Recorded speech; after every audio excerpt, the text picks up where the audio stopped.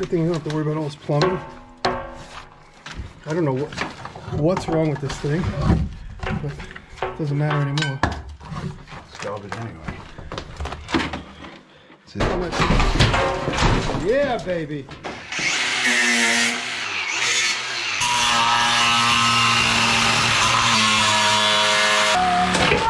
That's it. Thank you. Beautiful.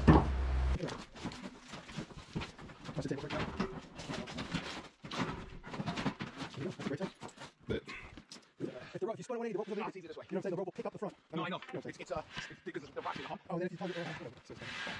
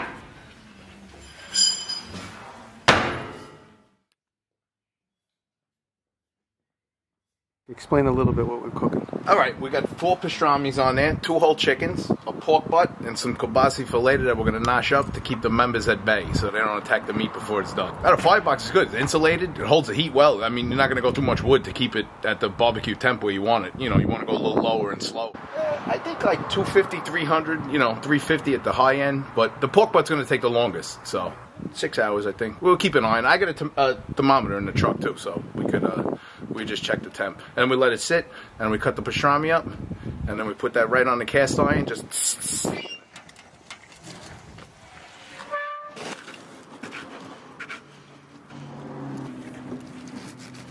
Thank you.